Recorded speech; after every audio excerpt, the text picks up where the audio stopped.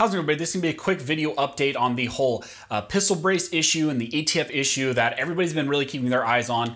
As of today, December 23rd, 2020, we got some additional information, primarily being a new um, document from the ATF saying that they will be removing um, the guidance document and the notice and commenting section. So um, everything I'm going to be talking about in this video, I'll put a link to the details section. And I just wanted to read this to you guys real quick for those of you who don't want to read it for yourself. Essentially, what this is is it is um, being issued by the ATF, and the action is a notice and withdraw. The summary is that the Bureau of Alcohol, Tobacco, Firearms, and Explosives (ATF) is announcing the withdrawal of a notice and request for comments entitled "Objective Factors for Classifying Weapons with Stabilizing Braces" that was published on December 18, 2020. So that was that notice document that everybody was really concerned about that we've talked about here on this channel. And if you want to watch that video, it's up here on this channel.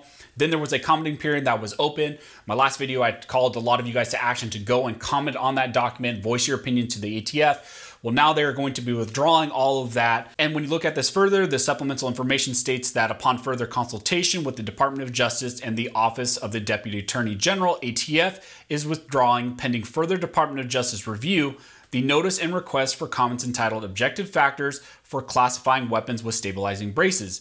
That was published on December 18th, 2020. As explained in the notice, the proposed guidance was not a regulation.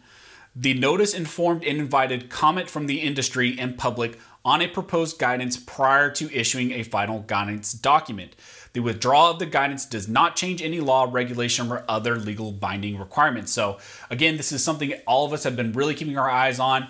Um, I know a lot of people are taking this as a win. We got to see how this develops. We don't know. Uh, who knows what they're going to do after this. But I just want to let you guys know that we did get some additional information in this document. I'll put a link to it down in the details section, like I mentioned. Take a read for yourself. And um, like I said um, in my last video, you have to make your voices known. Commenting and stuff like that may have persuaded them to do this here. We don't know. And it's definitely something we're going to be keeping our eyes on going forward.